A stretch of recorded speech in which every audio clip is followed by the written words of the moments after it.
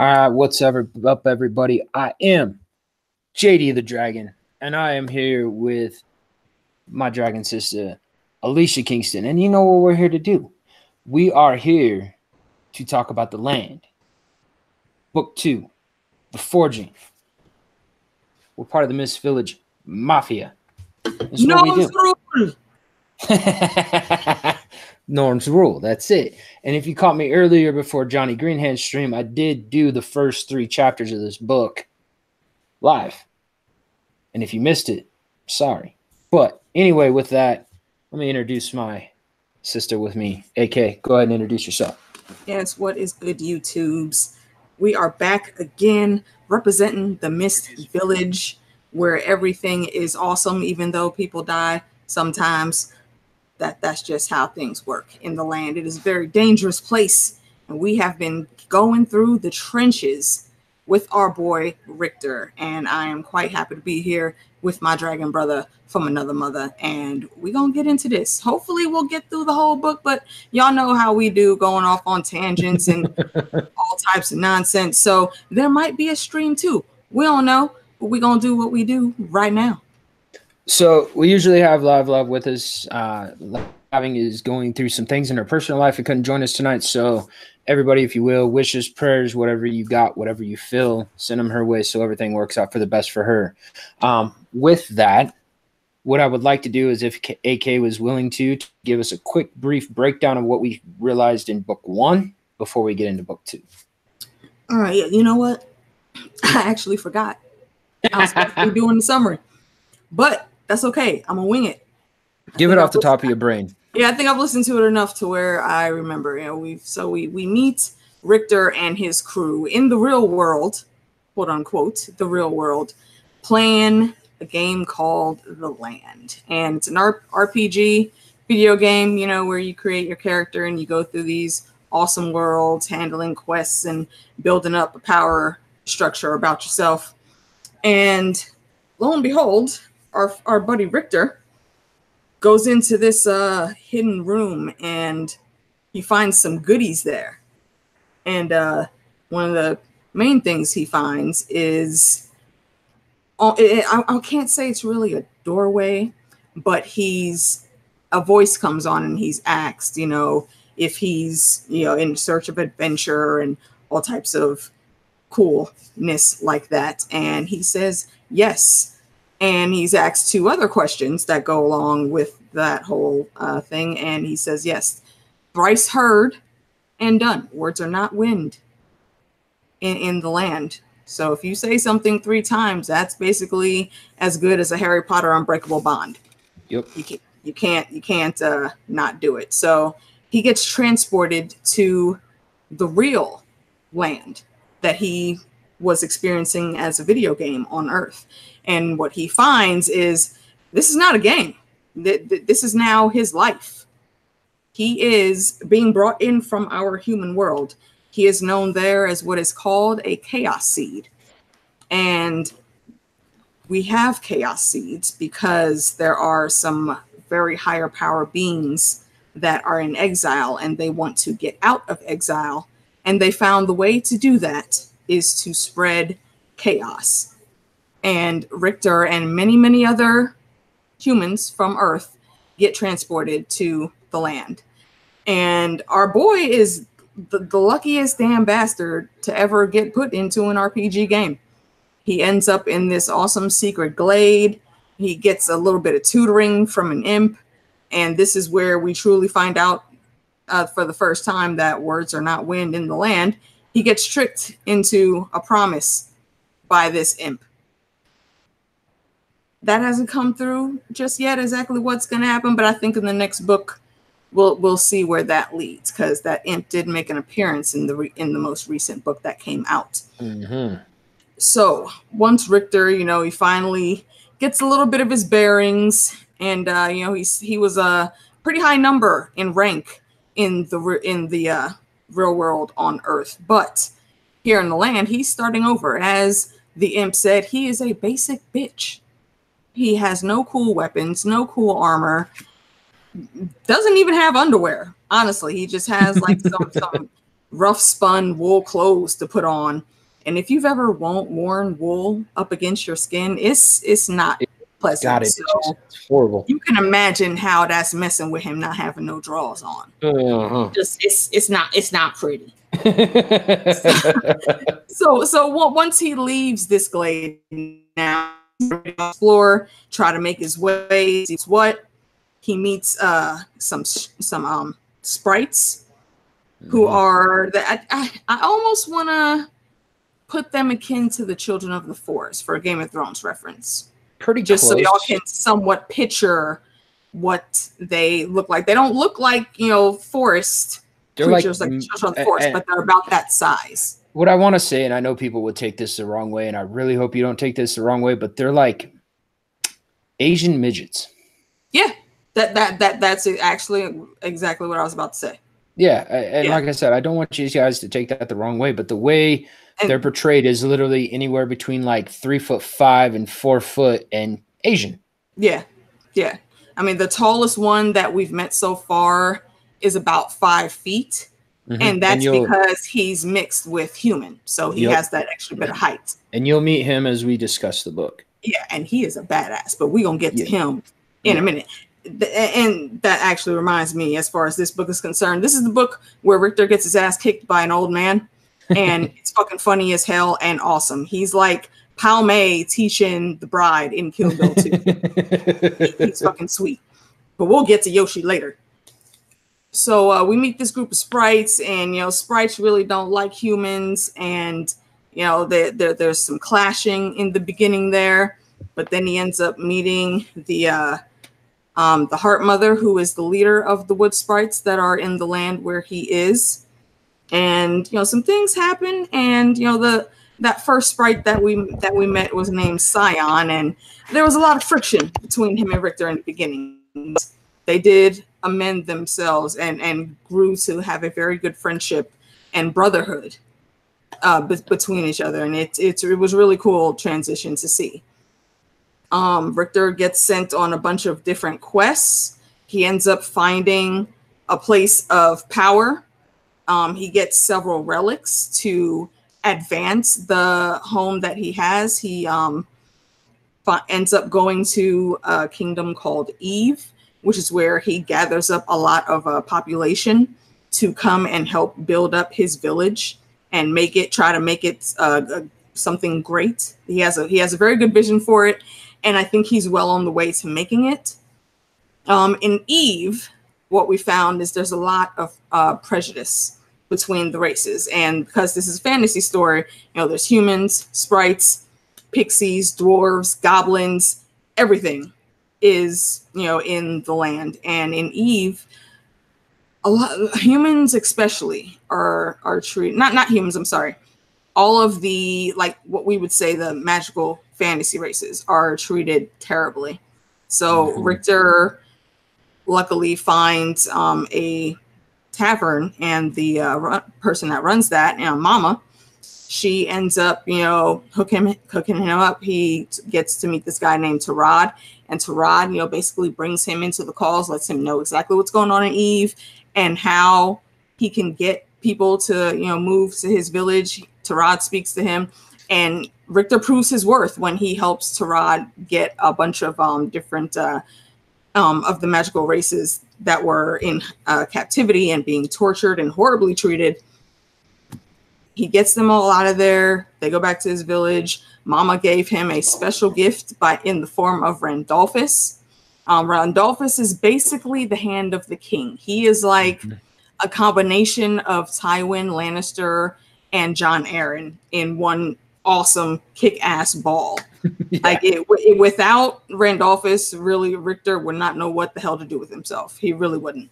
No, he'd be he'd be really lost without that man. Extremely lost. Yeah. So, you know, once they once the party, everyone gets back to the village. You know, they're literally building everything from the ground up. The only thing they have is the land and the resources that they can find. So they go through, they get they work hard, you know, they have to fight a little bit, and a bunch of things happen. it, for anyone that may not have read it yet, I'm not gonna say spoil. everything and spoil. but it's a pretty kick-ass adventure and by the end of it all you know there there are alliances made and richter is again like i said well on his way to having his dream be realized for the village of power that he seeks so from there we start we into, book two yeah we get into book two so for anybody that doesn't know what we're talking about tonight the land is a high fantasy story. Lots of magic, lots of creatures, everything like that. But it's written in a video game sense. So it's written like it's written like an RPG. So as Richter progresses through the land, he's levels raised, he gets to choose what he wants to do, how he wants to raise himself, and he can also help build his village and the people around him. So if you've ever played an RPG video game, that's how the land is written. So you get a main story, and then you get these levels happen. This is where he's at. This is what's going on, and then you go back into the story. I love it. Um, the way Aleron Kong has wrote this story is phenomenal. And Johnny earlier, and I never actually thought about this, but Johnny Greenhands earlier put it out perfectly. He goes, "Holy shit! It's not vague magic like a Song of Ice and Fire." Mm, No, not It- at all. Alan. Kong is very detailed on every piece and everything that goes on in his magical world. And I love it. So, with that, in the first book, we start off with the Dark Court. In the Mhm. second book, we start off with the Light Court.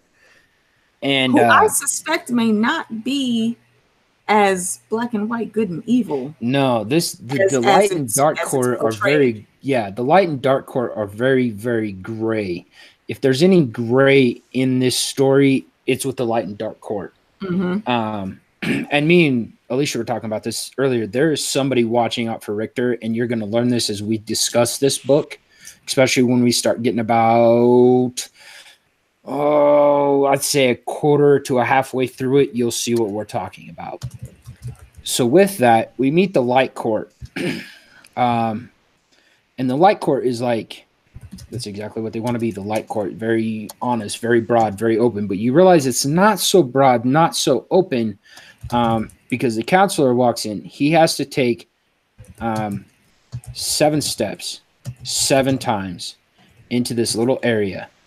Then once a thing chimes he's allowed to take seven more steps into another area where he Mhm. meets the king. And the king is wondering you know have you been able to pinpoint this magical occurrence that's going on in the land? And the counselor goes, um, Not really, but I have pinpointed a lot of high concentrated chaos magic.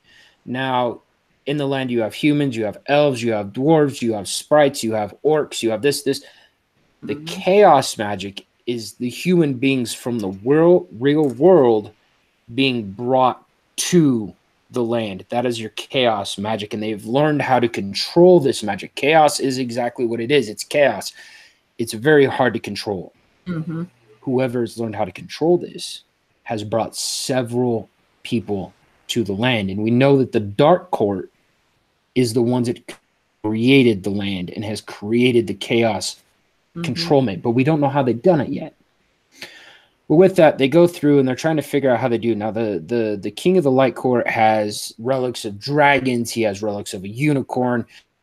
There's a relic of a phoenix, and people are wondering what happened because now there's just an asteroid field around this planet where the phoenix was at that was warming this planet. And it- it's real intriguing because of how it is. Because in the midst of this conversation and everything, as the high counselor is is consulting the king the king has a consultant standing right behind him that's completely in all white his face is shaded. You can't see his face. He stops and he whispers in the king's ear. And the king's like oh okay. Like there is no disagreement. There's no agreement. It's just like oh okay. And in the process of this whole situation that everything's going on he's at the same time thinking about the pixie race that he had actually raced from land. AK, do you have any more on that? Yeah, he um it almost seems like he was trying to do some random experiment and just from the gist of what I get from the light and dark court, it seems like he was just doing something because he was bored. Yep. And and he released uh it was essentially a virus into the land and it wiped out all of the pixie race. And while he's talking to this guy that, that's whispering in his ear, he thinks, you know, that thing I did back then with the pixies disappearing, that was wasteful. Mm-hmm. So, so he recognizes that he basically committed genocide, but it, he, it's just still just a fleeting thought. Like this is how little he cares about life. He he's not remorseful about it. He's just stating that okay, I probably should have taken a different route. Meh. Mm-hmm. That, and that's how like the the light and dark court operate. They're the most overprivileged of overprivileged southern lords in in Westeros. Basically, it's yep. yeah, and, and probably that thing with the pixies and a whole bunch of other stuff along with that is probably why they were banished and they now live in exile because the older gods that are still in, in the shadows looking over things they're like yeah okay that that's enough of y'all. Get out. But now it's been millennia upon millennia and again they're bored. They want to go back in and find new toys to play with basically. That, that's just i get from them. Um so T said, hold on real quick. T asks, why did he kill the Pixies? For for the fuck of it. It, it really yeah, doesn't seem like there was any reasoning at all. Yeah, it, that that I'm like he, he it's literally I don't know. Um, mm-hmm. we haven't been told why the High King of the Light side has put this virus out to kill the Pixies. We have no idea.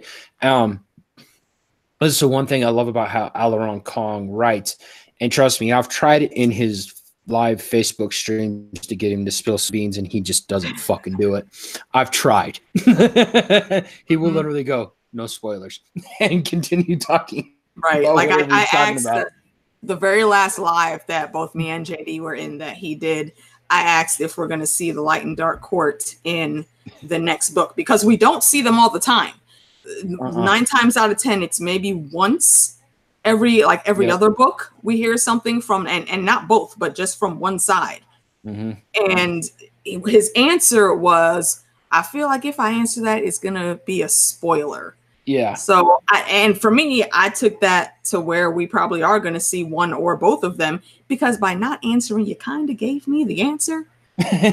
So i mean that's that's my theory. Anyway that's yeah. my theory. Because he um, may not he may not be doing that. And shout out to you Sir Aleron, if by chance you happen to come by this video, because the reason JD has that t-shirt that he's wearing is because Aleron saw the last discussion that me, JD, and Lav Lav did, and he got, reached out and uh, offered to send us free t-shirts for talking about the book. And yes. we appreciate that, good sir. Please keep writing this story because it's awesome. Yeah, very much appreciated. And you know, we didn't do this for any recognition of any sorts and kinds. We do this, we all. do this just like we did uh, Game of Thrones, Song of Ice and Fire we love the story. And uh, you know, with that, the group that we have, the people that follow us when it comes to a song of ice and fire, we're trying to introduce you into something new.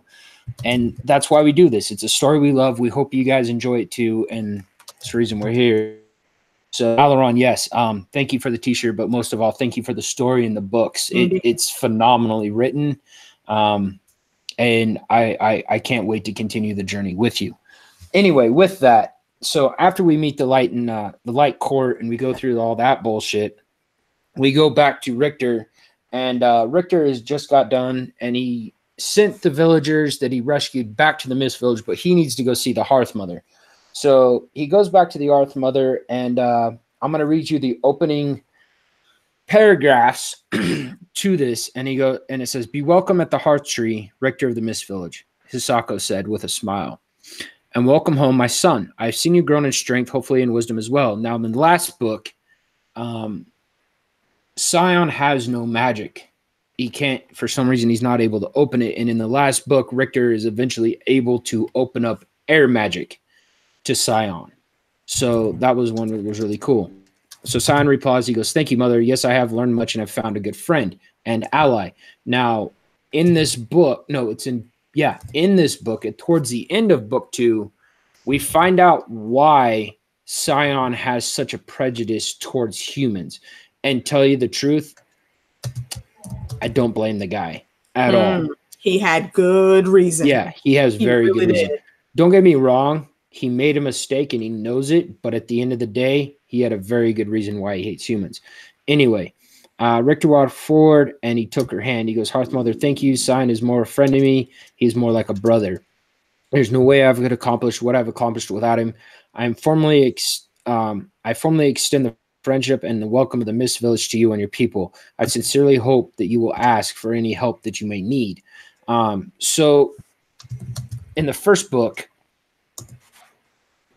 Sion kind of fucks Richter over and killed by oh, wolves. Oh, there's no kind of. There's no kind of. He straight up let my boy get eaten alive by wolves. by wolves. he did. He let him get fucking eaten. Richter killed the first one and he was celebrating in the second one, took his fucking throat. um, so uh, for Richter to be able to, you know, kind of push that aside and be like, you know what, bygones, let bygones be gone, bygones. I've met a really good brother. Um, he helped me through all this bullshit. Now, you know, I have the the friends of your allies. I thought that was a really cool segment for him to be able to push that aside because most people wouldn't be able to push that aside. I mean, I'm sorry, if somebody let an animal or a wolf take my throat out, that's going to be hard for me to forgive, even in a video game where I come back to life. Um, because if you don't come back to life, you're going to die. So that's a big one, mm-hmm. a huge one. Uh, do you have anything to add to that? Um, no, no, I think that's it. Actually, I, I did like you know Richter's initial reaction though. Once he came back and he got back to the hearth tree, the first thing he did was punch Sion in the face. and I thought that was an appropriate response. So I was here for it. Yeah. So they go through all this and they get ready. They go kind of back and forth and exchange goods or whatever. So after that, um, Richter decides he wants to go back to the grove where he was originally spawned, where he met the imp Xerxes, right? His name is Xerxes. Xerxes. Yeah. So he, where he meets the imp Xerxes. The reason he wants to go back to this grove is because it has a pond and it has a lot of herbs. So when they get there, there's a wall. You can't see through it. It just looks like a, a sheer cliff. And he, he goes, Hey, Sion, walk forward. And Sion kind of gives him this double take, and he's like, "What the fuck are you talking about?" He's like, "Just watch, for, walk forward. It'll be okay. It'll be okay." So Sion walks and literally smashes his face on a cliff, and Richter loses it and starts laughing, and Sion gets a little pissy at him, and uh, he's kind of like, "Yeah, whatever." Anyway, grab my hand. Sion hey, kind of real quick. Yeah. Just um in the chat, T Baby said that you know she'll she's probably gonna add it to her read list. I will encourage you to get the audiobooks on Audible before getting the physical books because the way Nick Podehl narrates it is extremely well done. And there's oh, also man. a bunch of, uh, which is unlike a lot of other audiobooks, there's sound effects mm-hmm. in this one. And for the way some of the announcements go, like when you level up or if you get offered a quest, or that he there's there's music and sounds that go along with that. So I highly recommend um, definitely getting the audio book along with the physical book. And is it on um, YouTube? No, it is not, T baby. Um, the one thing I will say, and the, it, it's something that I've learned through having Kindle with Amazon.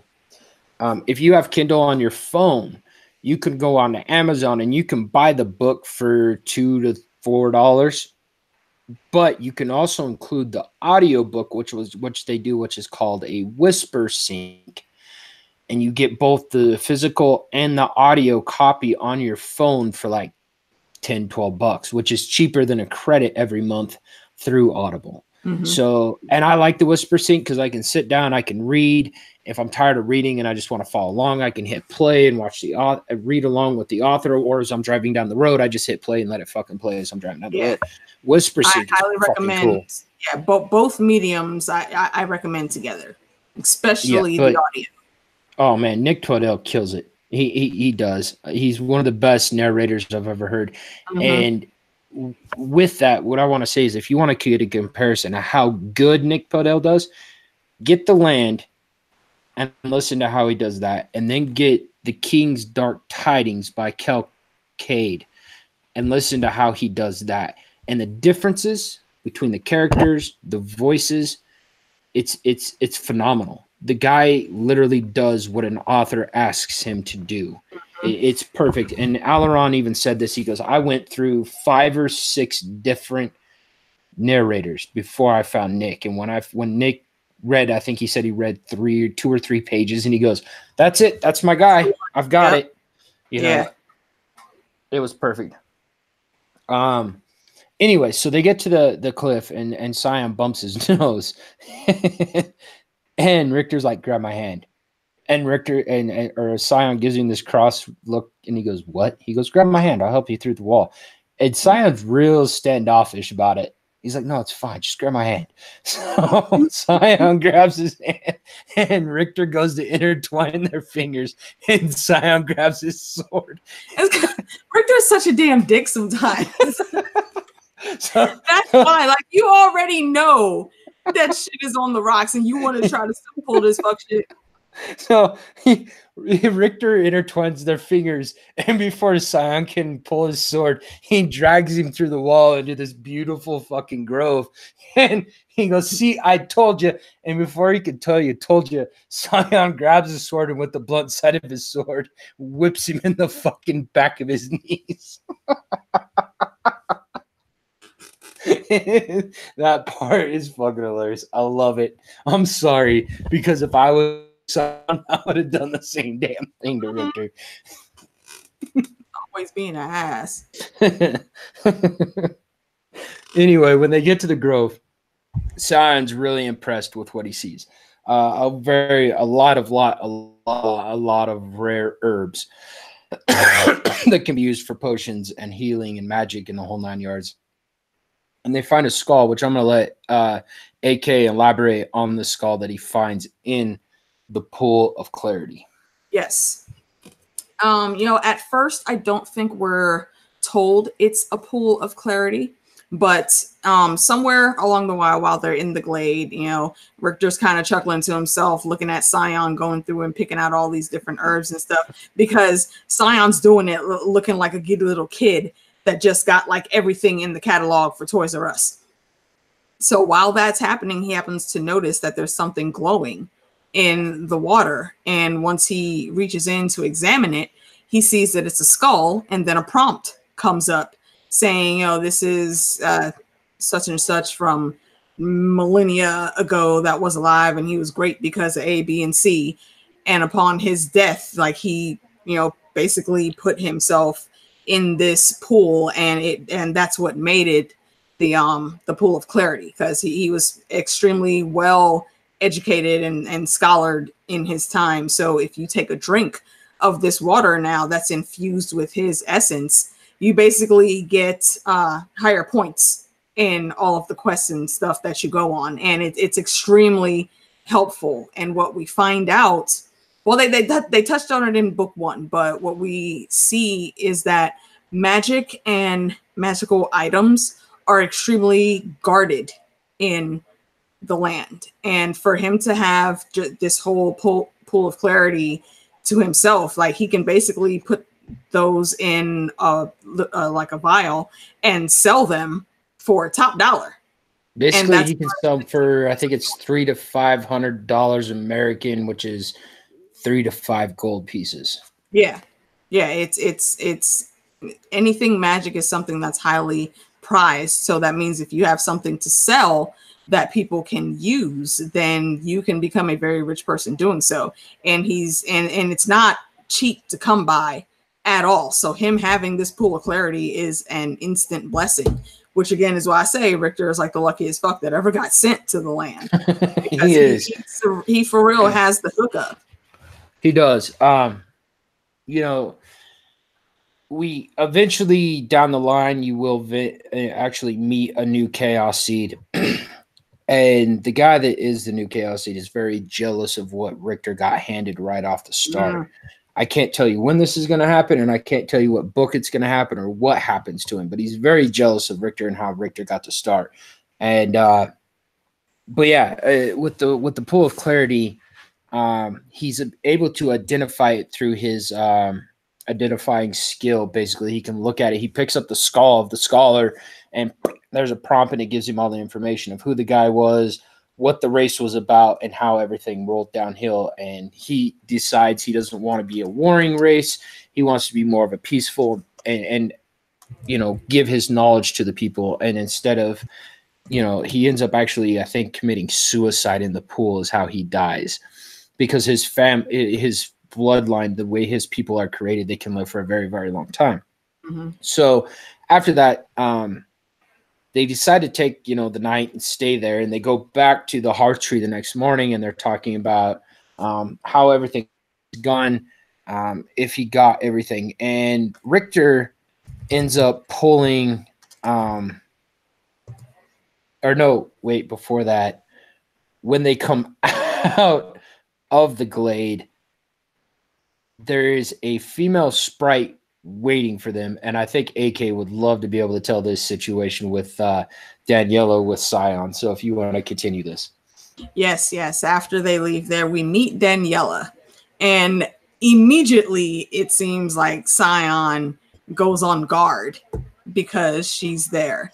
And it, it's not explained specifically what happened between Daniela and Sion, but it, it seems like there's I don't want to say there was a romance, but there's definitely a something that it that is that was and I think is still between them. It's like that that push pull of you know will they won't they that you get in TV shows for for young lovers. But D- Daniela, she's um she's she's just a, she's just a cool chick. She there's, is. There's a lot of, of very great and uh, she is characters in this very, book, and Daniela's one of them. Yeah, and she's very very hooked on Sion. Very yeah. hooked on Sion. Yeah. Like they lo- they they love to tease each other. Like it almost always seems like they're arguing, but they're they're not they it, it's just how they interact and there's something very special so, that you see right off the bat with their bond. Let's let's put it this way. Have you ever been around a couple? Like you met the guy or the girl and they're like hey let's go to this party. And so you go to a party with them and you know you catch them looking at their you know this this guy or this chick or whatever and you're watching them and you're like huh there's something there. And they kind of start like giving each other shit on like a serious level but you know it's joking but it's it's getting a little more heated than it should be and you kind of push one to the side and you're like what the fuck's going on? You're like dude i like that chick and i don't know what to do about it. Mm-hmm. you know it, it's that type of situation. Sion really likes daniela and diana Dan, daniela really likes sion unfortunately, they're not really able to express each other's feelings except Daniela bugs the fuck out of Sion, and Sion wants to get away and be able to relax for a minute. it's basically like like that that little boy in your first or second grade class that keeps pulling your damn hair or pushing you or some bullshit because he doesn't really he likes you, but he doesn't really know how to get your attention. So the only thing he can do is just fuck with you randomly on a bunch of like mildly annoying things just because that's the only way he can think to interact with you to where you're gonna give him attention so it's something like that and and that's on both sides yeah. for them like so, you can tell the attractions there oh god it's it, it's it's funny and Richter uses it to his advantage later on. We'll get to mm-hmm. that. So they get back to the hearth tree. They discuss some things, and uh, Richter's like, "Hey, Hearth Mother, um, I need to talk to you personally. And so the Hearth Mother dismisses everybody and they kind of walk. And as they're walking, um, Richter notices as they're walking, the grass kind of parts for Hisako as she's walking, not as she's walking through it, but as she's walking before she steps, the grass parts in front of her. That's a really cool thing if you think about it when it comes to them. Mm-hmm. and I'm, I'm noticing a lot of people in the chat going, Well, I'm lost. I don't know what's going on. When you get into this story and how deep Aleron has placed the magic of this world into the story, you will understand it. It's beautifully written. Yeah. So, again, Hisako's walking through the grass and it's parting for her. And they stop. And they're talking about this fight that happened in book one with Sion and Richter, where they fought this huge skilling, and and the Hearth Mother's like the only skilling I've ever seen is the size of a raccoon, and he's like, no, no, no, no, this thing was like the size of a fucking bear. Yeah. What we found was is it was underneath a hearth tree, which is what you have in your village, but this hearth tree was dead, but we found a seed core. As a present, I would like you to have the seed core. And Hisako goes, no, no, no, no. If you have the seed core, this was meant it was meant for, for you. you. Yeah, this was meant for you. This wasn't meant for me. This was meant for you. This is your seed core. So Richter goes one step farther and he goes, um, then I would be honored if you would come with me to the Mist Village and plan it with me. And she goes, Yeah, of course. And earlier before this, Richter had been pushed off as a trade partner because his trade skill wasn't high enough to go with the with the with the sprites it wasn't a diss against him. He just didn't have the the skill to be able to trade with him. Mm-hmm. So for this to happen, Richter's very happy. He's like, cool, whatever. And she goes, I'm gonna put a blessing on the seed core, and it'll make it just that much more potent. And so we realize in book one, we find this chrysalis that this evil um uh was it an orc? I think it was a goblin. Or a goblin had. Yeah, it was a goblin um shaman that had this e- mm-hmm. had this evil wand but on the one was a chrysalis, and inside the chrysalis is a pixie, what we were talking about earlier. And the Hearth Mother has been trying to free the pixie, but their magic isn't strong enough. Their life magic just isn't strong enough. So she's hoping. She looks at Richter. She goes, Let me come with you to plant the seed. And I'm hoping that the magic of this seed core will help release the pixie and release our other half of our soul. Mm-hmm. So if you've ever played a video game where you're able to get a soul familiar, you get a, a partner, a mouse, a hawk, or anything like that. The sprites have pixies. That's the other half of their soul. So for millennia's, the sprites have been missing the other half of their soul. So AK, if you want to elaborate on that. Yeah, um, real quick, just to answer T in the chat she's saying why do they hate pixies so much? I don't think the leader of the light court hated the pixies. I really think he was just bored and thought up this thing and wanted to see what would happen. And he, he didn't count on it killing the whole race. No. It, it was it, that that just happened to be a side effect. It's kind of like the comparison of uh, the children of the forest creating the the Night's King and the White Walkers. It was yeah. something to help them, and it ended up fucking everything over. Right. It's kind of. Like you good. You good. T. You don't gotta apologize. Um. Okay, with this uh, chrysalis that was found, they they find um, a pixie that's been put in stasis, and what we find out is she's actually she was a, a princess of the pixie race, and to save her, before she died, her mother put her into stasis in this chrysalis. And somewhere along the line, the chrysalis was found by this uh, goblin shaman, and he used it to give a boost to his magic in the staff that uh, that he had. So once the hearth mother sees this, you know, she she knows that if that Richter's uh, place of power, the Mist Village, has a um, magical uh, ley line of life magic. So once they plant the hearth tree there and she puts that blessing on it, it will be like an infusion, a huge boost of life magic. And if if he if she can put the chrysalis near it when that's happening, then that amount of life energy will be enough to revive the pixie because the because alone they can't do it. The pixie's been in stasis for too long and it requires an extremely high amount, high level of life magic to bring her back. And they do end up succeeding. It, They it- do. It's uh, pretty spectacular how how it goes about. But They go do. ahead, Jay. Um, so with that, after they've had this conversation, the the Hearth Mother is like, or Richter's like, yeah, that's that's fun. I want you guys to come with me.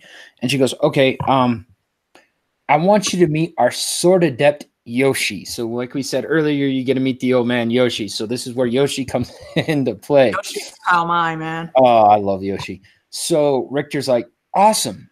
You know, I get to get some training. I get to level up, blah, blah, blah. And, uh, but also I want you to bring um, Sumiko as a advisor to your village, which is a older sprite, a medicine, life magic healer. And, and Richter's like, yeah, that would be phenomenal. She's like, okay, good. Go meet Yoshi over here. So Richter walks around and he decides he wants to practice with his sword. So he's sitting there and he's practicing, he's practicing, and he's trying to hit these these blades of grass. And the blades of grass keep moving. And as he's trying to hit the blades of grass, Yoshi walks up and he goes, Quit playing with it. That's how you go blind, son.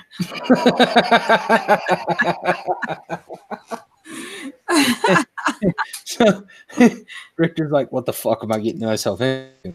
So he notices that that Yoshi walks up. Oh, um, so I want to do some quick shout outs real quick before we go any farther. Sure. Um, in the chat, I'm going to start at the beginning here. Hold on. We have T Baby, OTDA, LMR, Cami, Eduardo, Lady Laura, Don, Dawn of Starfall. Uh, I seen Cami in here earlier. We have Tara T. We have Amanda Kane. Um, Luke from Drinking No Three No Things just showed up. Um, mm, I think about got everybody. yeah, we have Bubba Husky Mother, and, yeah, Bubba Husky's in here. Mother of Kraskins is in here. Dog And Show's Aaron in Water. here. Huh? and Aaron Water. Dog show just came through. Yeah. So Red Witch. everybody. Thank you, everybody, for coming through here. Um, for those that just popped in, what we're talking about is Land. It's a book by uh, an author named Aleron Kong.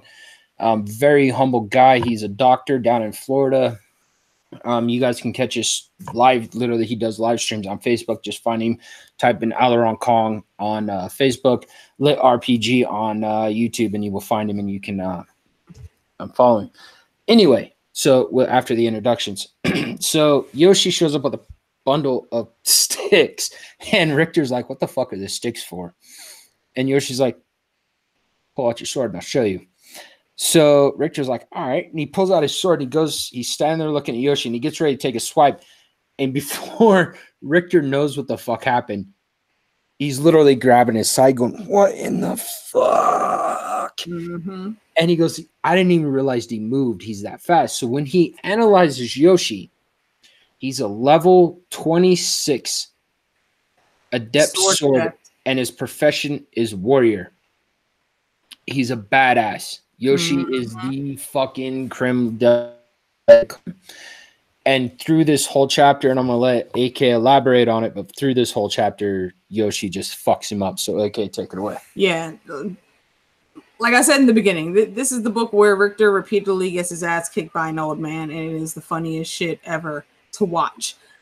Like, to, to put it into context, that scene in Kill Bill 2, where we see the bride going to Pai Mei for her training, and he tells her to, you know, grab a weapon and actually let me see what you can do. And she thinks she's the shit and she's going through, and this dude, no weapon at all, is manhandling her, giving her the fucking wet work. And that is exactly what happened with Yoshi and Richter. And it's absolutely hilarious. Like Yoshi, to me, it, as far as all the fighters that we'll see throughout this series, there is only one other person in the story that I think is a better fighter than him. I'm not going to tell you who it is though, because it doesn't actually come up until book seven. Mm-hmm. And when you find out who it is, man, you're Yeah. gonna fucking be surprised, and it's gonna be the most epic shit ever. Yep. But for right now, Yoshi comes up when he comes up with the sticks and he tells Richter to, you know, prepare to attack him. Richter's looking like, um, you not to use a sword? You, you go you gonna use sticks?" And Yoshi's like, "Yeah." I mean, and, and la- la- later on, one of my favorite scenes with Yoshi, what comes up is they're in this dungeon, and something happens, and before Richter can even blink, like Yoshi handled the problem. Mhm, And he's, and Yoshi sees him looking, and he just shrugs his shoulders, like, "Yeah, I'm nice like that." and he keeps walking. Yoshi, Master Yoshi, seriously, is, is is what you should be calling him all Yeah. the time. He is that motherfucker, He- and I absolutely love his character. if you guys have ever seen um the karate kid and me and dog were talking about this in the chat earlier when i was streaming the very first of this book he goes first we're gonna wax the or or sand the floors and i'm like then we're gonna go wax the car and we're gonna stain a fence. Yoshi reminds me of miyagi. Hmm and it's literally that real dry no laughing sense of humor because in the point of this richter's getting his ass kicked and he's getting really pissed off about it. And yoshi pops off. He goes you know this isn't any fun for me either. And then a couple seconds later he's like never mind this is a lot of fun And, you know, and there's some more complaining on Richter's part, and Yoshi's like, you know, you can just walk away. All, all, all you got, all you got to do is leave. But of course, you know, Rick, Richter is stubborn as hell. So in his mind, he's like, no, I'm not going, I'm not going to uh, leave just to spite him. I'm going to keep getting back up, and that's commendable. It is, but throughout throughout the training session, Yoshi just gives little quips, and he's like, and, and one of my favorite ones is like, only sissies throw up. Richter throws up. Well, I guess you're a sissy. it's it's so hilarious. Like the amount of shit talking and it's that literally Yoshi does is fucking brilliant. no sense of humor at all there, there's no enthusiasm in Right, like it's like it's like Grey Worm when when Tyrion was trying to get him and Missandei to have that drinking session with him, yeah and and Grey Worm's like, I make joke. That's exactly what Yoshi sounds like. it's fucking hilarious i love it And It's, it's, it's brilliant. It's brilliant. and Luke um, just picked up the chaos, the very first, the land, the founding. Dude, if you like lit or if you love RPGs, you're gonna fucking love the land. Definitely. Aleron Kong is a phenomenal author. Um, Hey yo, Awesome. for also Luke, if, you do if you do catch up to us and you want to jump on and, and chat about it at any time, let us know. yeah, You're you're, more you're than more than welcome to join us. We're we're always down for people to discuss this story with us. Um, but yeah, so after uh, Richter gets his ass kicked from literally the middle of the day till dusk, Richter hasn't fallen, and it's literally out of spite. And he goes, "I don't care if it takes me 20 minutes to walk 100 yards. I ain't falling." And let me tell you, at the end of that, like y'all y'all saw how how the bride was at the end of her training sessions with Pai Mei. This is exactly what Richter looks like. Hi- His muscles are sore. He, he's like half limping to when when they get ready to get moving, but he knows if he's going to be any good, then he needs this training. And one of the things that Richter asks is, you know, because while while they're sparring and they're doing all this training, Yoshi is showing him um, different fighting moves along with you know just actually really knowing how to handle the sword richter is noticing that his uh, experience and leveling up that he's the points that he's getting are a lot higher than when he was just in a fight no, no, no, And- it- no. You're actually backwards. He's noticing Oh, yeah, that. yeah. Yeah, That's right. because and it comes later into it. So we'll get to that. And I'm gonna kind of go through some things. So what happens is they go back to the hearth tree. The hearth mother's like, "We're going with you. We're gonna go plant this, and we're taking a bunch of people with us." And Richter and Sion kind of look at each other like, "What?" And Yoshi's like, "Yeah, the hearth mother hasn't left the tree in a millennia. We're going with her to protect her." Mhm. So they go on the journey, and uh, they they're getting to a point, and it's literally every day that Yoshi is just fucking Richter up, and Richter eventually levels up in swordplay. And he goes, "You know what? We have practiced for hours upon hours upon hours, and I'm leveling really slowly. You know, with other masters." I've leveled really fastly, and Yoshi it, this is one of the best examples I can actually ever put out there when it comes to somebody getting trained. He goes, You can beat your fucking sword against a monster for hours and level up, and you're still going to throw it around like a fucking gnome having a spasm. I am teaching you sword forms hmm it was it, it, it Aleron Kong, the way he fucking wrote that was just beautifully done. Right.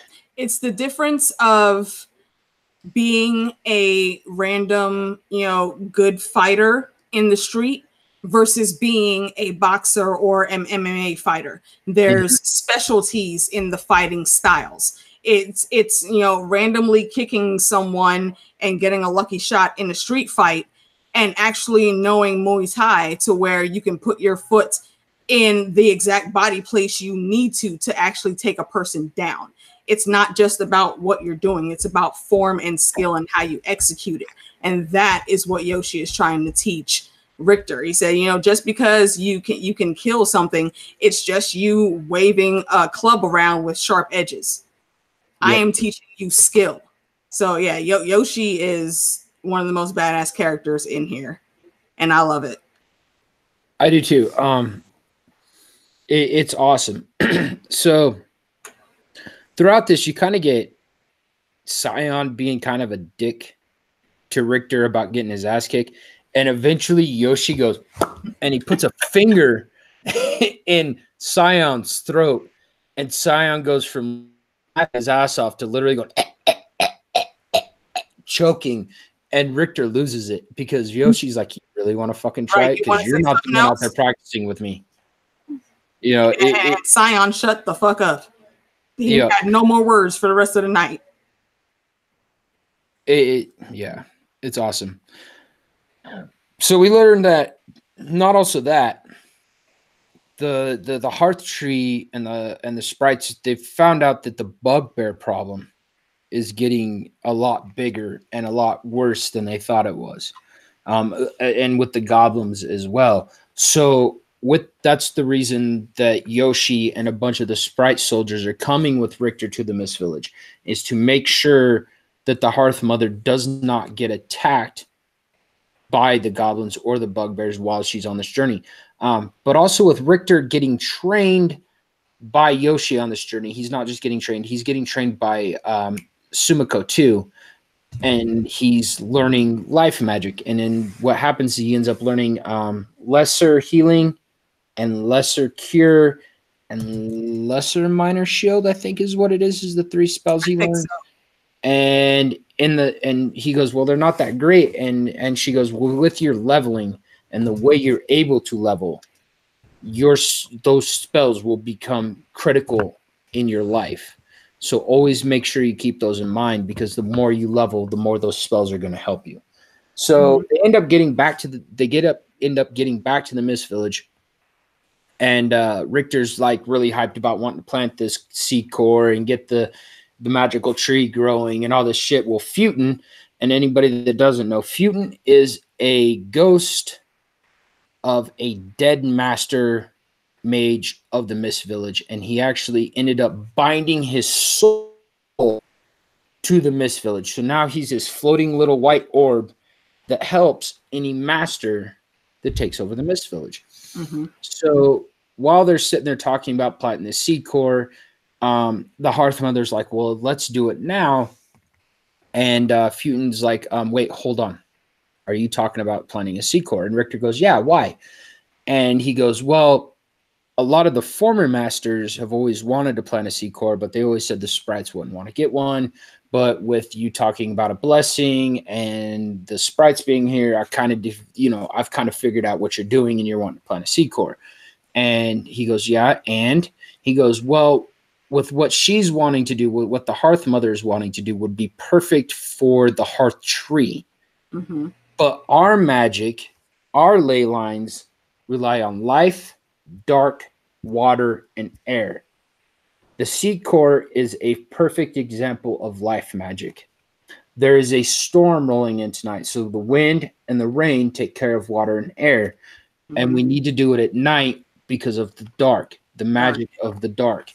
And the Hearth Mother goes, You're right. I was thinking about planting this in my village. You're 100% right. This isn't my village. This is yours. And this is the way the magic lay. That gives me a lot of time to figure out what's going on. And this is one of the best parts of the story, AK.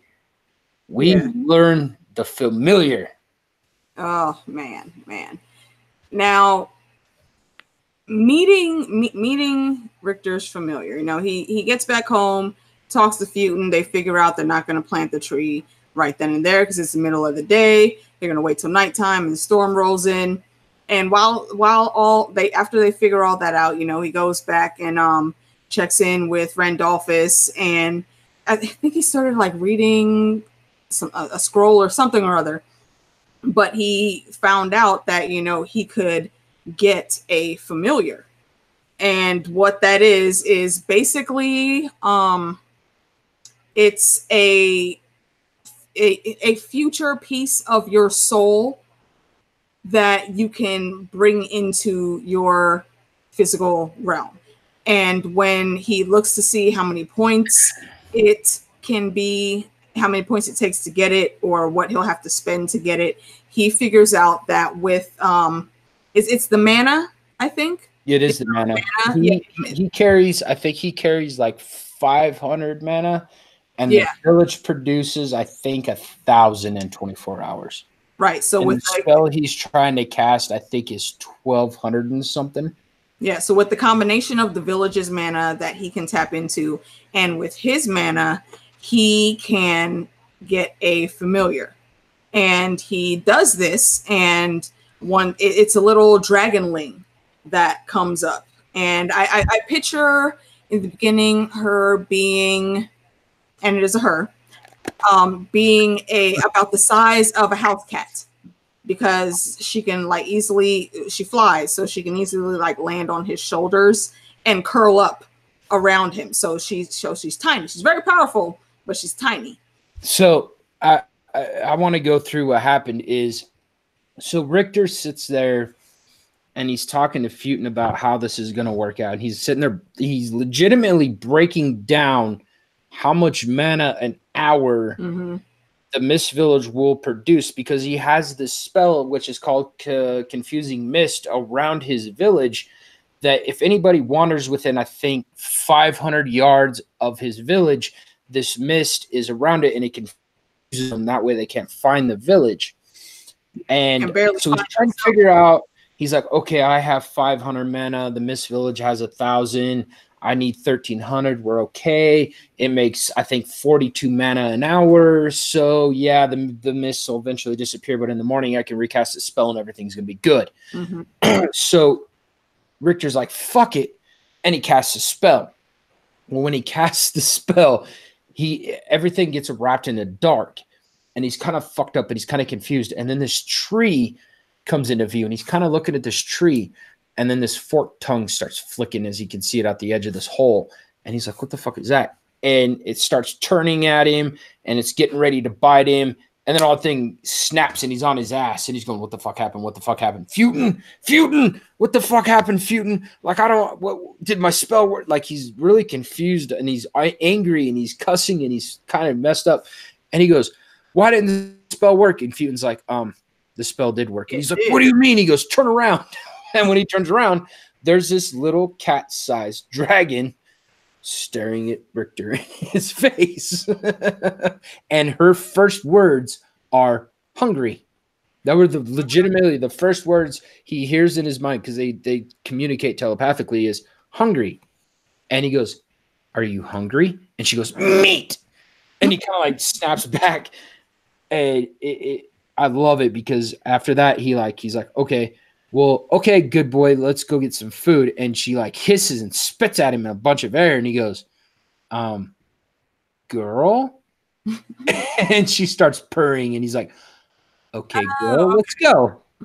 Yeah and they communicate psychically in their minds. Like alma can't speak physically but they communicate together through thought.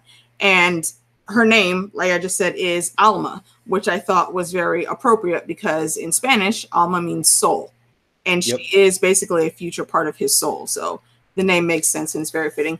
And JD, I gotta jump off real quick. I'll be right back. Continue. So, um, he gets his soul familiar and he's walking her through the tunnel, and she's still like giving him shit about being hungry and everything. So he walks her up to the hunters, and she just jumps off of him. And she goes and starts attacking this deer, and all the hunters kind of like jump back that have been skinning this deer, and they're kind of like got their knives up and shit. And Richter realizes, you know, before this gets real bad, I need to make this, you know, kind of toned down. So he's like, This is Alma, and she's going to be around for a while. And he knows Alma can't quite communicate in full sentences and everything. So he's like sending pictures of family and relationships. And this is your family and all this shit for a little while. And she's kind of pissed. She says, like, it's mine. He's like, no, we have to share. So eventually he communicates that they need to share food and all this. So he gets the hunters to cut a hunk of meat off, and he's like, all right, you know, um, if she's still hungry when you're done, just cut another size off about that big and feed it to her. I need to go talk to Randolphus about what's going on in the village. Um, the one thing you learn about Richter is Richter doesn't like big responsibilities. Even though he's the master of this village and he is responsible for a lot of lives, he doesn't want that responsibility. You can see in his actions because uh, Randolphus starts talking about, you know, the food they need, what they need to build, what this, this, this, and this. And just kind of sitting back and going, fuck, I'm bored. And they kind of go through all of it. Now, in that, we get to meet one of my favorite characters finally on this story. His name is Crom. And yes, he's a fucking dwarf. And if anybody knows me, I like the dwarves. So we meet this dwarf named Crom. And Crom ends up becoming the village smith. And he gives Richter a bunch of shit. And he's wanting these certain types of metals and all this and blah, blah, blah. And he goes, You know, I have another magic core and Crom gets really jittery about it. And he kind of goes, You need to bring me these better metals. You need to bring me this. You need to bring me that. And we can figure out what we're going to build. And Richter's like, whoa, whoa, whoa, hold on. I still have a lot of other things I need to do before we focus on building a better forge. And a messenger comes up and talks to Richter and he goes, Hey, you know, the Hearth Mother needs to talk to you. Let's go. And if you want to take off from there when um, the sprite comes and gets Richter to go meet the Hearth Mother on where to plant the seed core, it's all you, AK. Actually, I'm slightly blanking on that one. Where the Hearth Mother wants to meet him? Yeah, well, I don't remember exactly what it was she was meeting him for.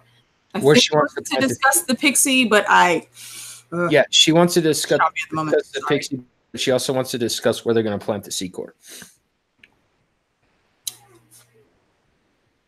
Yeah, I don't know why I'm totally blanking on that. All right, I'll continue. I'm sorry. So, yes, please continue. So the Hearth Mother wants to meet Richter, and Richter's like, "Yeah, tell her I'll be there shortly." And on the way there, he runs into what is the elf elf elf's builder name? Um, he takes after a character. Ah, that, shoot what the hell is that woman? Starts with an R. Giovanna? No, no, no, not the shipbuilder, the actual build, the builder builder. Um, that that's what's uh, what's his name? My breakfast dude. Bacon and eggs. Yeah. Oh damn it! What the fuck is his name? I'm blanking out I on don't, I don't know why I cannot remember that right now, but he is one of my favorite characters because really his biggest concern is bacon and eggs. And and if y'all know AK, y'all know she loves her breakfast.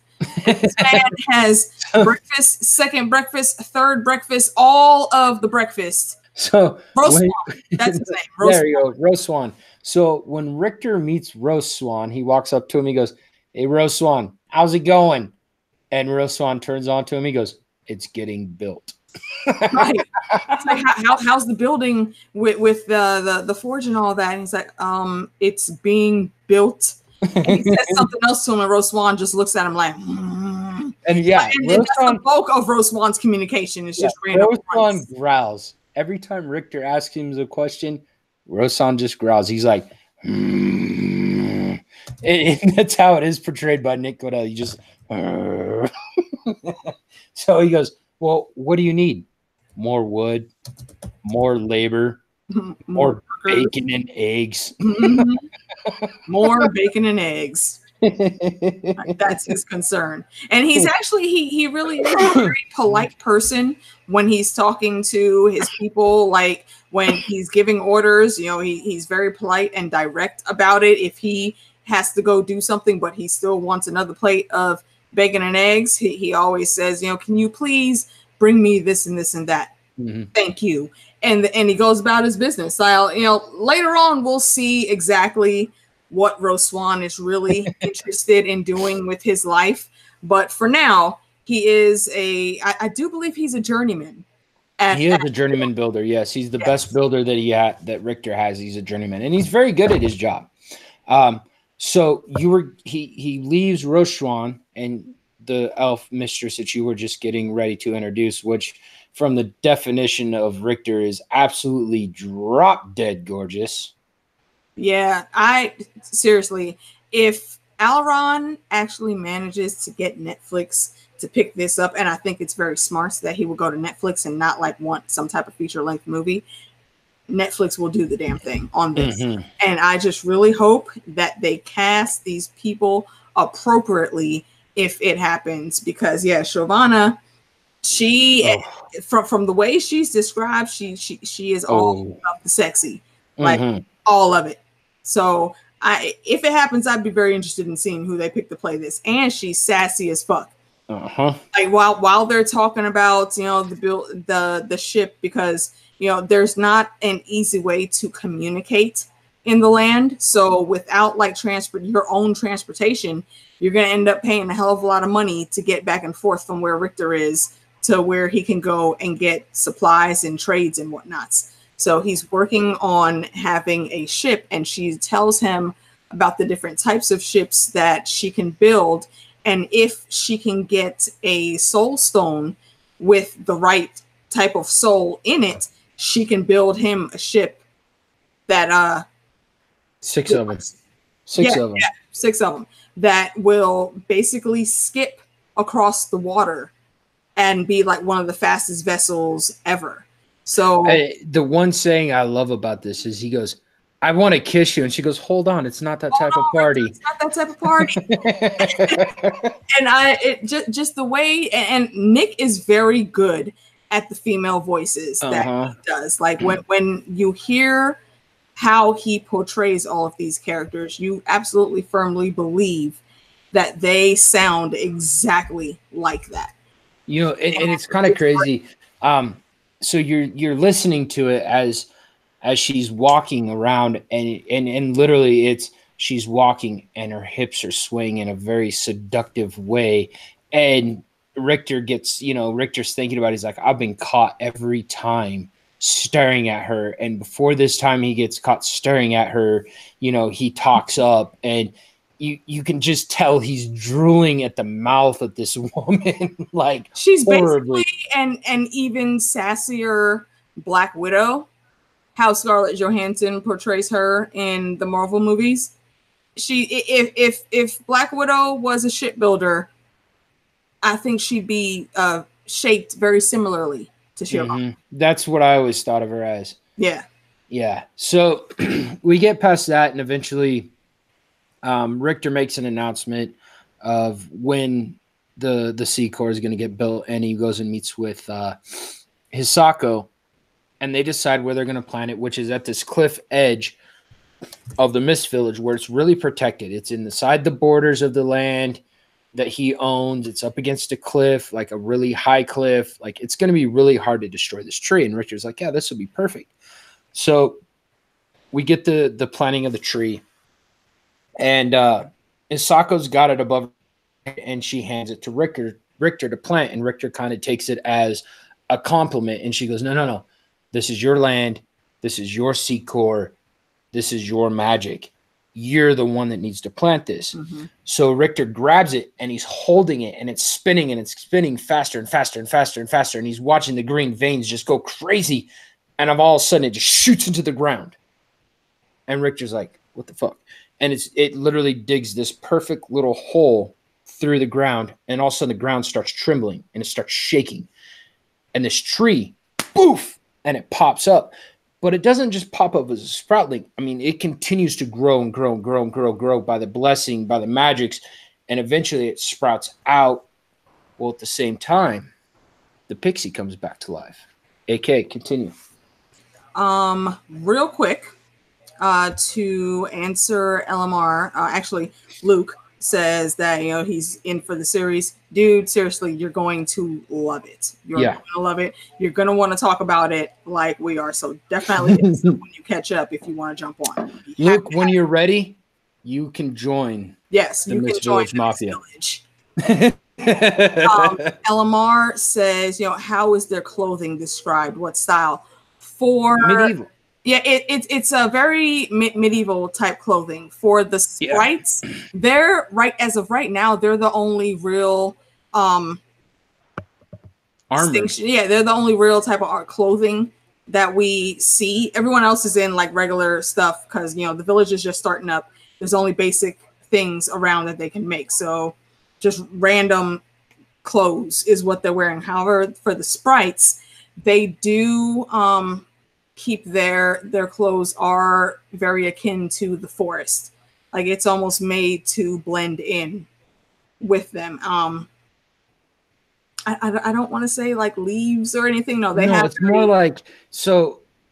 If anybody's ever paid attention to like archery, archery hunters that, that hunt with a bow, their armor is kind of based off of that. It's very, very Mhm. camouflage.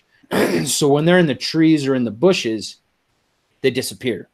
That that's actually you can go to Aleron's Facebook page yeah. and he's got pictures of uh, Sion and and a couple other of the characters, so you can see exactly how he. uh, So if I remember, Sion's got like this brownish armor with some green Yeah. spots and a green cloak or green, yeah, green cloak flying behind him. mhm. kind of situation. So basically, it's kind of like a camouflage that they disappear in. Um, but anyway, if you want to says, like, continue on, yeah, kind of like kind the pixie. reeds. yeah. But so yes. continue on with the pixie. Yes, after the seed core gets the blessing from the Hearth Mother and Richter plants it, he it, when- he when he's holding it, when it first starts spinning, it, he notices it actually starts to burn his hand, Mhm. and you know as soon as it like gets to top speed, he's like you know whimpering a bit because it hurts, and it shoots down. He goes to turn and uh, run because he doesn't know exactly what's going to happen with the ground shaking and he sees that everyone else has already retreated about three feet back. Like he's the only idiot that's that stayed there holding the damn thing when he should have already let it go. So what we see, you know, the ground starts shaking and this tree starts coming up, and it, it looks like it's almost uh it's full silver on the outside. It looks like extre- like it's the skin is extremely smooth and it's warm to the touch. and yeah and it's very warm to the touch. And when one once like you know the the, the magic smoke clears the hearth mother she looks up and she gasps. And she says a quickening. And that's the type of tree that grows. It's a, it's a quickening. And it's not a tree that it has ever been seen on their plane of existence. Like there are different planes of existence. Higher beings ha- have different tiers that they're in and this the quickening is a high level tree so it's it's phenomenal that rick that richter was able to grow it Again, Like we keep saying, there is something watching out for Richter, and you will realize it when you start listening to these books. Mhm. There is something looking out for Someone Richter. is looking out for this kid i don't Uh-huh. know what it is about him on earth that they saw but once they got him they were like okay nah this is this, this is the guy this Yep. is the one we need to send all the care packages to because he's gonna do the right thing and even though he doesn't know it yet he's gonna do what the hell we need him to do so we can get the fuck out of exile Yeah, somebody's pulling the strings on his ass. Yeah, someone is definitely So out for the kid. Yeah, we don't know what's special about him yet, T. no, We we have We don't. no idea. He's a good dude, which you'll find out going through this. Yeah, story, is he he's really a is good dude. guy. He is Richter is Richter has got a huge heart. Mhm. Very nice guy. He's willing to give anybody a chance. So basically, um, to answer that, what's so special about him? He has a really big heart. He cares, and he says this perfectly, and I, I- we'll get to this eventually. But he says it perfectly: is I was raised to look forward and care for the people that were around me at that point in time, in that present. And know, most people don't live like that. Most people live with the people that they grew up with, that were in the past. A lot of people don't look at the present and what's around them. Mhm. There is, you know, the one thing I will give, um, even though this is a very high fantasy book and it's written like a video game, there is a lot of life lessons that he writes in this book. Don't get me wrong, there's a lot of pop culture jokes too, but the life lessons that he writes in these books. And for most people that don't know, Aleron Kong is a black Asian author. Mhm. He's one of the very few black authors that has made it as big as he is. And I I get a lot of emails from him. genre of book. Yeah. And I get a lot of emails from him where he goes, you know, I'm dealing with a lot of racist shit. I deal with a lot of fucking stupid shit. And I just respond to keep your head up and keep doing what you're doing because eventually people are going to see what you're doing. I'm one of those people. And that's Uh, why Richter is the way he is. Yeah. He that's why he had such an issue with how the human nobility were treating people in Eve. He wants a village that has a, pl- a a plethora of everything: gnomes, pixies, sprites, dwarves, orcs, goblins, everyone living together and thriving and being happy together. And Yep. that's what he that's exactly what he's building. When you look at the people that he was able to get into the Mist Village, that's what he wants. And and he doesn't, you know, want to just rule over them or keep them under under any type of um, you know, like with his with his foot on their necks or anything. No, he wants everyone to grow and be as powerful He's- as they can, as knowledgeable as they can, and everything. Yep. So the so the village, all of them can thrive He's he's that boss for the land. you know he's kind of like my boss my boss is the boss that would he he wants to be your coworker he doesn't want to be your boss he wants working beside you and that's what we're, what richter reminds me of Mhm. how uh, how Aleron is writing this character is he's the character that you want to believe in that you want to fight with and that leads into what happens which i'm going to explain now is so um the quickening is born and in that the the the pixie is released. Now we learn that the pixie, her name is Aurora, and she is a queen. Alora. Yeah, Yeah. you're right. That's Alora. And Alora is a queen of the pixies. And we learn that her mother, her race, everything is dead. And she sings a song, and she's this part actually really does give me the chills when when Nick is explaining it. She sings a song about happiness. Then she sings a song about sadness and loss and losing everything she's ever known and being confused and doesn't know what she's going to do. And with that, the people that are standing there watching this go through this very high to very low. Literally, everybody standing around them Everyone's is tears. crying and in tears. And Alora goes up to Richter and she's, you know, Richter's like, I'm sorry for what happened.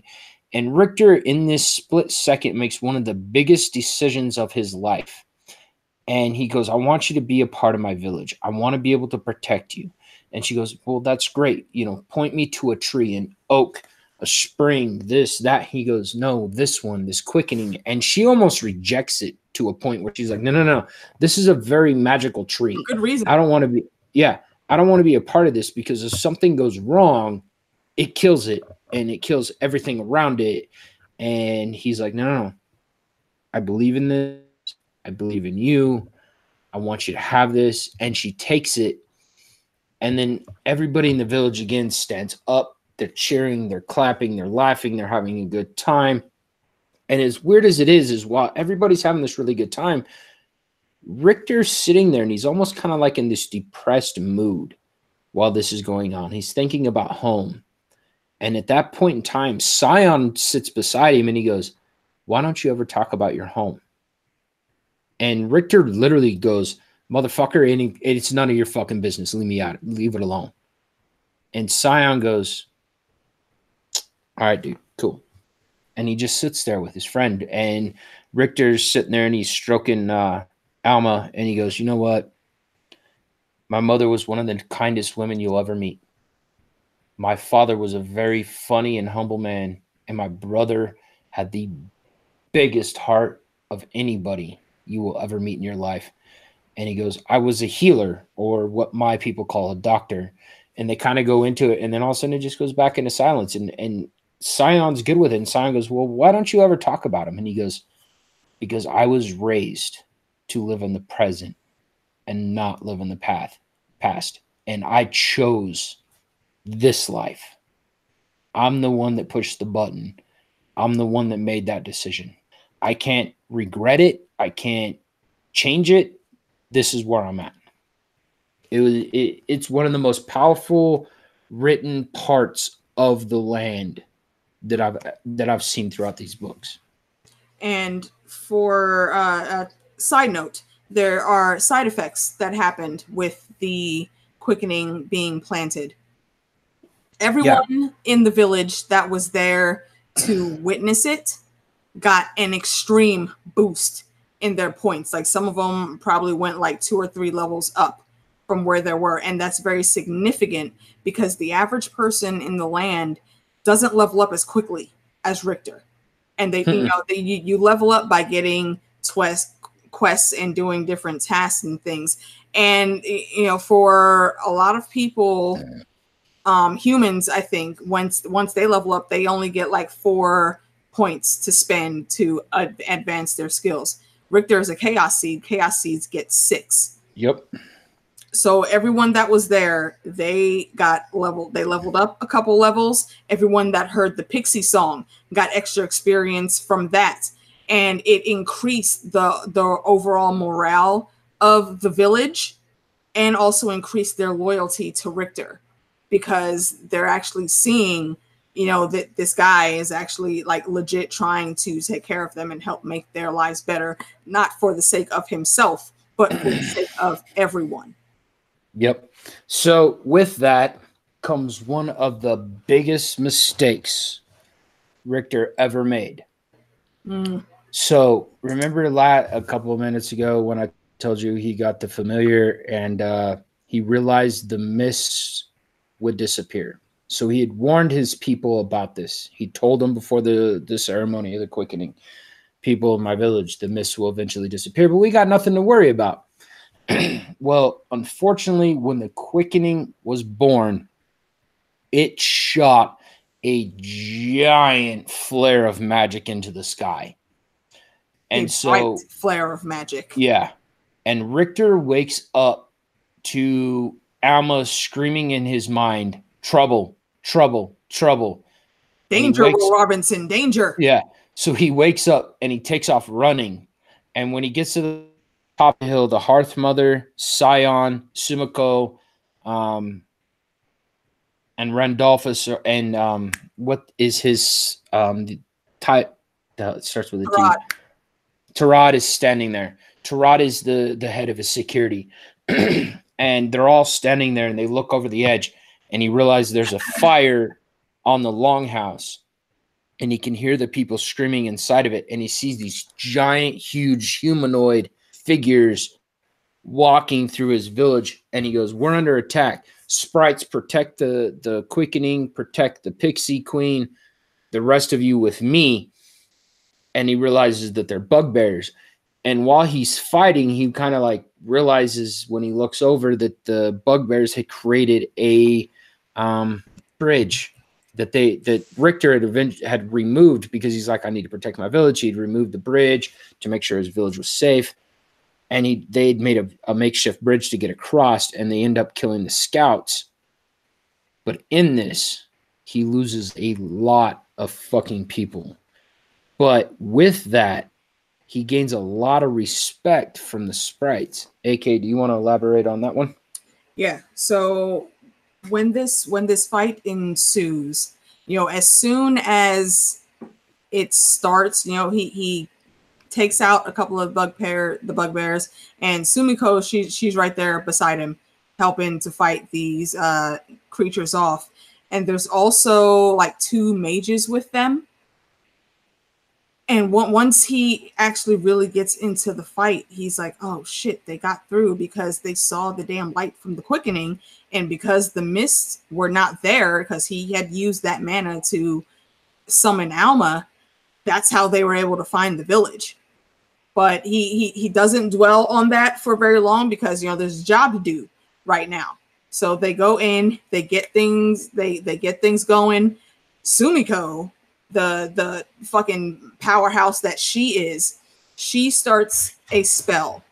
And I think the spell actually took a good two, three minutes mm-hmm. for her to cast. Because the, depending on the level of spell that you use in the land, there's a cast time. Like some take only one second and it's like maybe just a small swipe of the hand. Some are more elaborate where it takes five seconds to where, yeah, incorporate both your hands and do you know some some random signs in the air, and that is what uh, brings forth the spell. Sumiko summons a basically an an archangel from a higher plane of existence. And uh, this this is where the fight really turns. This guy comes in and just starts fucking wrecking shop. Mm-hmm. So, she basically summons an angel. Yeah, yeah. She she she summoned an angel, and he comes in and you know he asks you know what is your bidding mother of the forest? And she just says you know protect these people. So he goes to work. And while he's doing that richter his main focus is trying to get to the lodge house because a lot of his people are trapped in there. Those are their sleeping quarters. And a lot of people are trapped in there and the fire is growing because the building's made of wood mostly. So y'all know how easily wood burns so they go through fire. Yeah, they go they go through um a, a few of the sprites fell along the way. Um, for his villagers, eventually, I think it was maybe around 10 was the number. There were two in particular that stood out. One of them actually did live. Richter, he tried using the healing spell on him, it didn't work. So after he pulls this kid out of the the burning building, he starts CPR. And CPR is not a thing that's it, that seems to be known in the land because after you know he goes through and the boy starts coughing and he actually comes back there's a prompt that comes up and you know he finds out that you know knowledge of healing in uh, unconventional ways is is a very key component in you know helping yourself to thrive in the land. So because he used this earth technique that he knows and not magic it helped him along. And the other child unfortunately did not make it. She was a four or five year old little girl i believe mm-hmm. and she ended up dying in the fire. And that absolutely devastated Richter. It like crushes him not, because he had talked to her before that. Yeah, he is not a ruler that does not care about his people. And if you didn't already feel like he genuinely cared, this scene here is where you, you find out he truly cared about these people. Like the father and the mother, they were very distraught over it. Richter actually held her while she was holding like a toy that that uh, Petal had and cry, sat and cried with her, not for any type of show, but because he was truly feeling that loss himself. Mm-hmm. And he and he absolutely fully admitted it. While when the fight ended, and you know that everyone was cheering for you know hooray for Lord Richter, hooray for our savior, he yells out to the crowd, "No, no, don't praise me for this. This this shit was my fault. This happened because I was too ambitious. I was and too I was greedy, selfish, and too selfish and I wanted to have this thing and I jeopardized all of our lives because of it. And he totally So owned up to his mistake. I, I, I want to read how Alarong depicts what happened, how he writes this out. And he goes, Hisako cried out in outrage and pain. Six of her people lay on the ground. Their bodies were bloodied and ruined. More than one was decapitated. Eleven bud, bugbears' bodies joined in the unnatural position. None were moving. The remain the remaining ten sprites were split between firing firing out of the village to keep the reinforcements out or attacking the knot of the bugbears still inside the walls. They were outnumbered, even if their attention had not been divided. At least 15 bugbears remained inside the earthwork walls. The only reason the sprites had not been overwhelmed was the presence of the angel. Zaraki was battling his crystal sword against the unseen bears. So you get, and that's what I love about how Aleron writes, is you get the prospect of what's going on around you, but also what's going on inside of Richter. So he's seeing this fight going over there, this fight happening here, these dead right here, but also what he has to do in the situation the the mind work of how you portray that is it's phenomenal. It's it's really well written. To have one second, one of the most important people of the story crying their fucking eyes out over their dead. In the next second, the angel battling and destroying. But also not that you get the dead fucking enemy. You get the sprites fighting their asses off and what he needs to do next. I love how he writes this story and that's why I fell in love with it. It, it was, oh yeah, this is a good story. It was literally, this man's writing is phenomenal. It, it really is. It, it's legitimately a phenomenally written story. Yeah, absolutely, absolutely. And you know what we see also in the aftermath, um, Sumiko, while she's mourning for the loss of her own people, Hisako. She doesn't his yeah, I'm sorry, Isako. She doesn't look at Richter with any type of blame in her heart. He's a young ruler, and she has been around long enough to know that young rulers make mistakes. Nighty baby, thank you for coming in, hon. Have a good night, T. She knows that young rulers make mistakes, and she looks at him with sympathy Mm-hmm. because she knows that he is going to take this loss of his people very very hard. And that that's proven when he you know admits that this is all my fault and i am so sorry. I will do whatever i can do to make it up to you. Um he ends up actually making a blood oath that no matter what happens he is going to avenge the deaths that they had to suffer because of this attack. And I believe when he does that, a prompt comes up and he's told he has exactly one year to fulfill his blood oath. And um, Hisako, she she warns him, says, you know, I understand how you're feeling, but you need to recognize that that oath you just made can end up being a very dangerous thing. So just be careful and tread lightly in the future when you when you're in your feelings and you think about making these oaths words are not wind in the land if you don't do something that you say you're going to do it will cost you a lot in the Mhm. end Horrible. and uh, another um, good part that we saw in the aftermath, there were two elders. Um, one, I believe, was an elf, and the other a dwarf, Mhm. and they were basically um, acting as you know, liaisons for their uh, race of people that were in the village. And they come up to him and they say, you know, we understand, you know, what happened, and basically thank you for owning up to it. We know it, it, it you made a mistake. That was it, but you didn't try to hide from it. You didn't try to shuck responsibility. You were in the fight, helping all of us, and you're still here now, actually grieving with us and showing that you do truly care. Just because you made this mistake do not let it consume you. You know, we're still here. We and it, it raised his respect level, not just with the sprites, but with everyone to see how he was doing this. Like he did not try to hide at all that this was his fault. He owned up to it and he's he's he's gonna make it right. We actually have not, as of yet, we have not gotten to the consequences of this blood oath just yet. But. I, am I'm, I'm I'm thinking that it'll come up in the next book because it's been a while. And I'm yep. pretty sure his year is almost up, so he's gonna have to do something. It is getting close. Yeah, it, it is getting close. close. I think he's only like I think where I'm at in book seven. I think he's like a month or two away mm-hmm. from what the consequences could end up being, and he has to he has to wrap it up because in book seven he ends up wrapping up two things that he made oaths for that yeah. came up quicker than yeah. he planned. And I and the I, one I feel thing, like they're going to coincide somehow.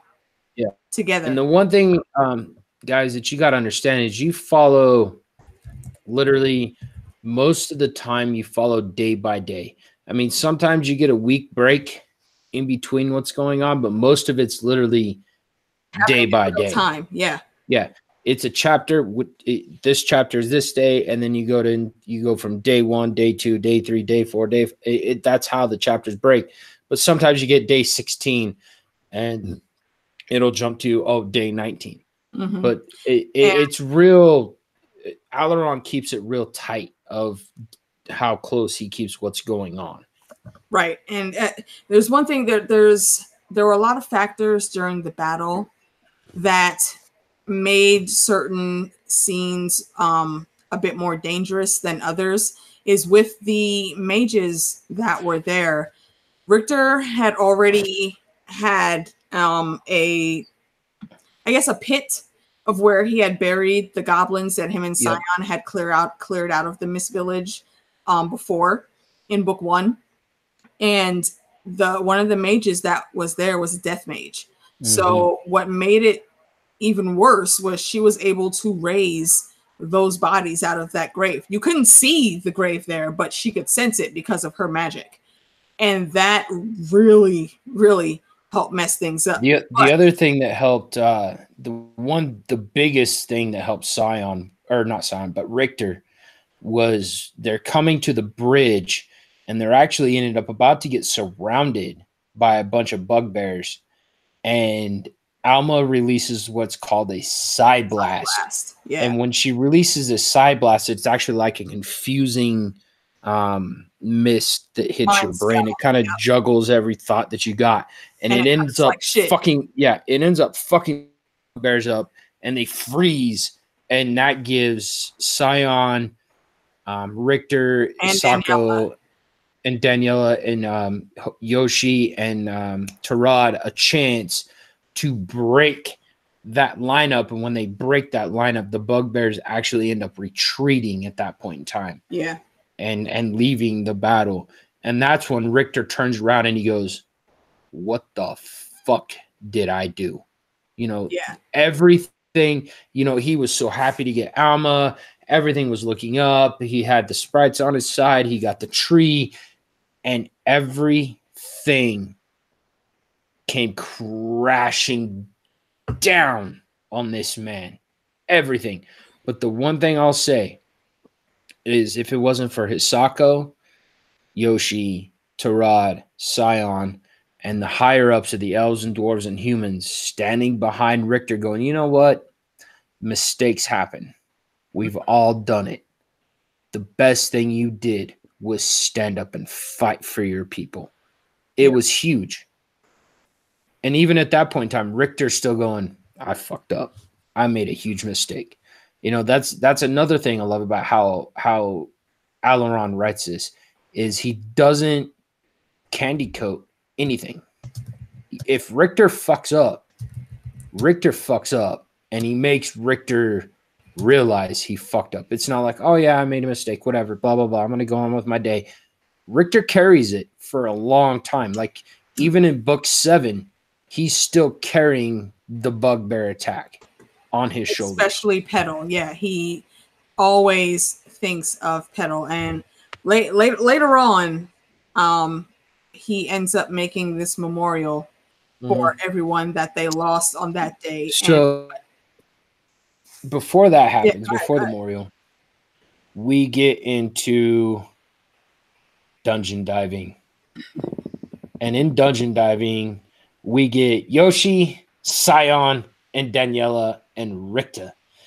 And they go dungeon diving. And it's to unlock the second power of Richter's village, which ends up being life magic, right? I believe it's life think- magic. Yeah, it's the second magic is life magic. The battle is what made him have to go into that dungeon. He realizes his Yeah. people need to get stronger, but to do that, first he needs to get himself stronger. So, And he has to level up his Yeah, he has to level up the Yeah. village's defense also because Yep. everything has some type of level in this world. Like if you've ever played an RPG game, you know that you know once you build a certain structure, there's still higher levels of that structure that you can go on and add on to it. And that's exactly how it works here with the Mist Village. The village itself can level up. So he Yep. wants to make that happen so he can better protect his people. Go ahead, Jay. Yeah, so he goes into it with Yoshi, Danielle, and Sion. That's all he takes. Nobody else. And for a while, things are going good. They're they're kicking ass. Well, they get to this chamber. And like anybody that's ever played an RPG game, Richter likes to touch shit. Richter always fucking see and, and T baby just left. She she would appreciate this. Richter touches shit even more than fucking Jorah. Stop touching shit. Yeah. Stop it right now. It's like fucking Fargo in the the TV show Eureka to come on sci-fi. Some bullshit will happen and the sheriff be like, you know, Fargo, why did you do that? He said, because I'm Fargo. I always push the button. Yep. No, stop it. Stop being a Fargo, Richter. No, he touches shit and he ends up releasing this so they fought for probably i mean i'm gonna i'm gonna skip over about three chapters of what happens because i really don't want to spoil everything that goes on in this Yeah, the eaters. You, you got to tell them about the eaters. Though. okay so when they first drop into the tunnel so richter touches the stone with because he gets a mark and the mark is his mist village mark so there's certain runes he has to think about the mark presents itself and he touches a stone and as he's touching it sion yoshi and daniel go nah! and then they drop into a pit. Mhm. and they end up killing a bunch of these bugs. And these bugs are literally called eaters.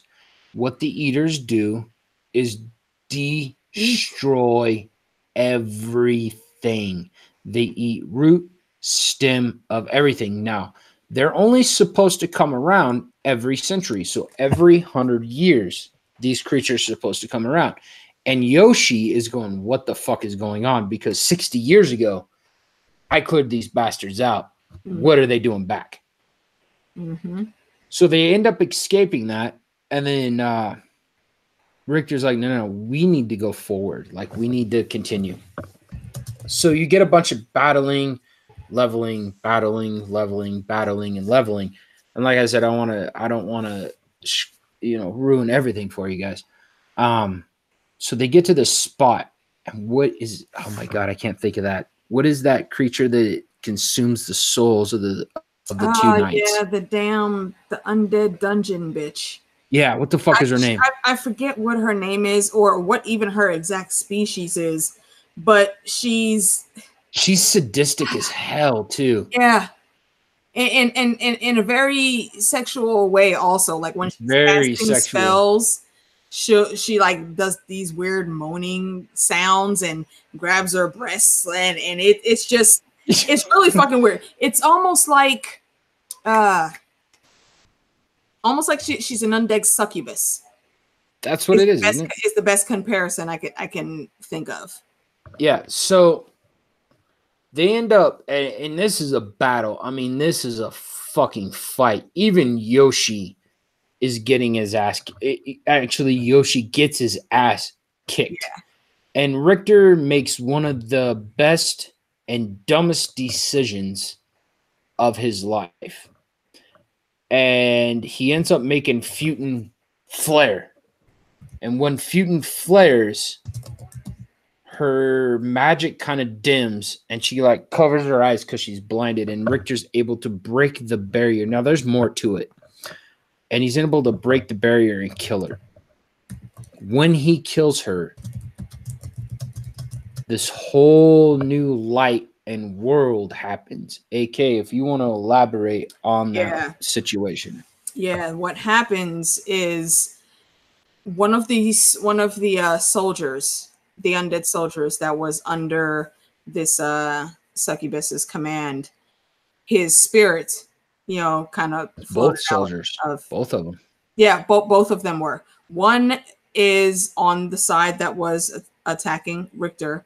The other is on another side of this uh, doorway that opens up. It, it's a portal that you know shows this um, really pretty looking world behind it, and this uh, I, I think she might have been a queen that from from that race comes uh, her parent her spirit comes through and she starts telling Richter the story. Um, before that, though, she meets up with the other spirit that came out the body.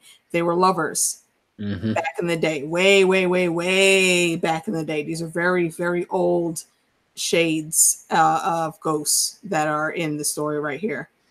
And she tells Richter this, their story basically. You know, they ran into some trouble. They had to flee to another plane of existence, but the soldiers, the undead soldiers that they were fighting, they were part of her people. The one in charge, her her lover that she finally reunited with, stayed behind so that everyone else can get to safety. And they fell under the spell of this uh, undead succubus. So, as a boon for Richter defeating her and um, you know allowing them to reunite, so all of their souls can now finally move on to another uh, plane of existence. She tells him she can take like one. He can take one skill from all of them. Well, not, well, not from all of them, but just one skill period out of what they have to share. Yeah. So he goes through and he sees like what could happen if he picked these any different skill. Um, take it from there because I, I I forget exactly which one it was that he picked.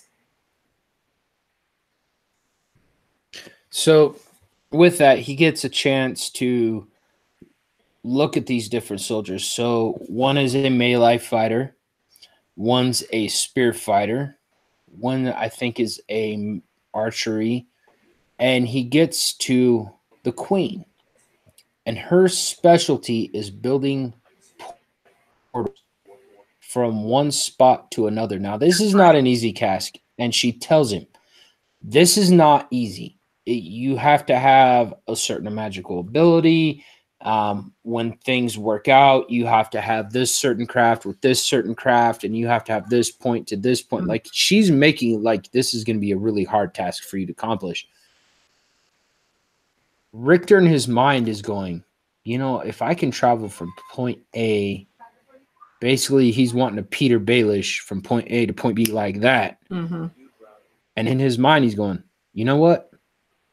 That makes a lot of sense for what I want to do. And that's what he chooses. He chooses portal building, portal building. When he chooses that, he levels up 30 fucking spots in that one magic, not including the five to 10 spots he levels up in life and air magic. And he ends up unlocking life magic for his village. Now, in his village, there's a pillar. On this pillar of four different stones, you have air magic, life magic, dark magic, and water. Water. And so now you have air magic's lit up, life magic's lit up. The only two left are dark and air. And so he's like, dude, sweet, that was a victory. But in the process, Sion is the only one walking around. Daniela got her fucking ass handed to her. And Yoshi Hard. still knocked the fuck out. So we go into the scene where they're trying to escape, trying to figure out how to get out of the dungeon. Yoshi's still asleep. Daniela's still sick as fuck. And the hole is really small. And Sion's like, you know what? I'll go through that. AK, you take it away with Sion get trying to get out. Oh man, yeah. This um I felt uh really, really bad for Sion having to go through what he went through in this uh, little passage. But here is exactly where we find out that you know why Sion had such hatred towards humans. It basically took us back in time where uh, Sion was, you know, a, a young sprite trying to make a name for himself in the world. Him and his best friend go exploring. And they end up finding this So, uh What was his friend's name? ah Because the Kyrian. yeah. So when Sion's crawling up, he hits a wall, and this face forms, Mhm. and the face asks him, "Why, Why did, did Kyrian Kyrian die?" And Sion, and I'll let you continue right now. Yeah, Sion, he he blames himself. That's for Okay, before I get into that, let me just say what he saw. He goes in, he sees him and him and Kyrian in their younger days. They go out, they see this human camp, and humans have a bunch of different uh, creatures held captive. And their plan is uh, either to sell them or eventually kill them. And they're fighting So right now. away. Yeah, they're they're I think yeah, they're making them fight right now. Um, so Kyrian is like, okay, we need to go back, get some of the guards, come back, and then you know handle this problem. And Sion, he, he's headstrong right now.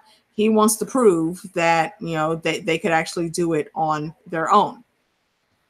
So you know he he silences Curie. He says, "No, come on, let's do this," and they both end up getting got, pretty much.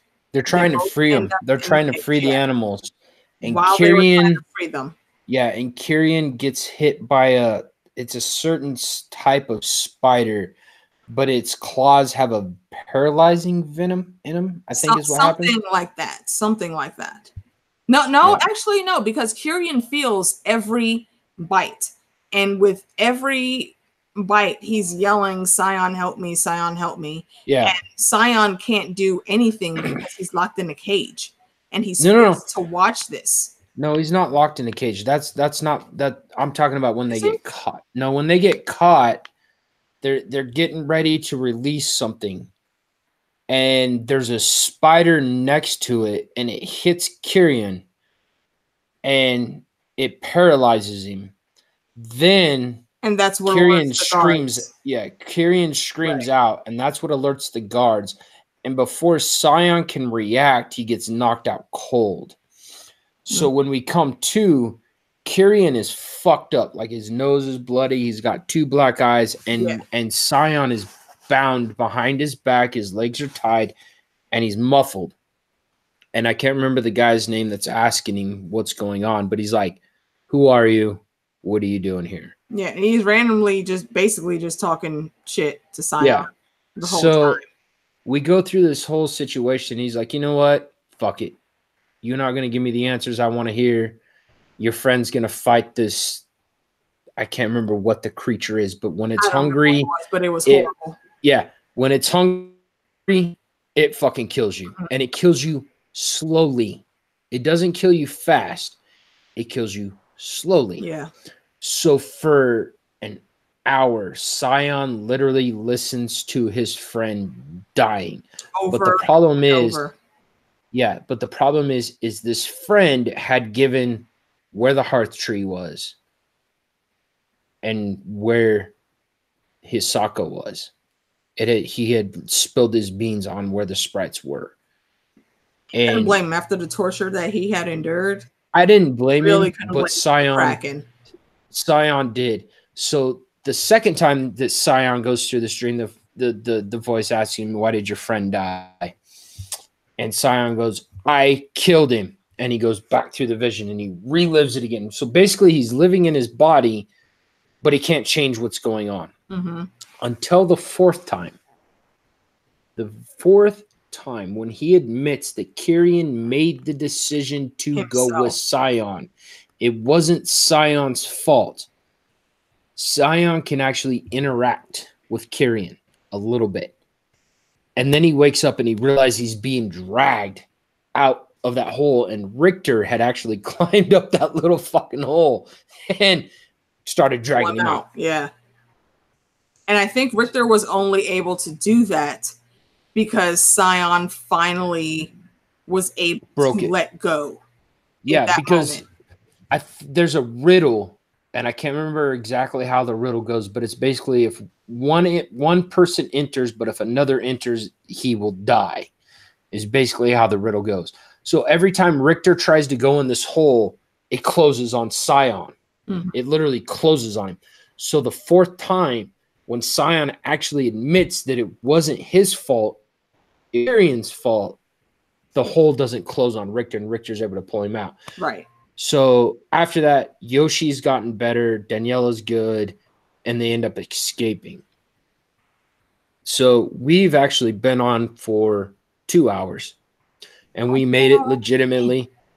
Yeah, we legitimately, again, only made it halfway through the fucking book. so, AK, two hours in, we're going to call it a final for this. Let me amend. Right. If you want to give your final thoughts and kind of a prelude what we're going to get into on the second half of this book, go for it. Yeah, definitely. So, you know, we're here. Um, we we are in the dungeon at the moment, and you know, they they Richter pulls Sion out, and the adventure will continue from there. There's this uh, another chamber that they find. There's a kick-ass waterfall and a whole bunch of other different traps and whatnots that they have to get through.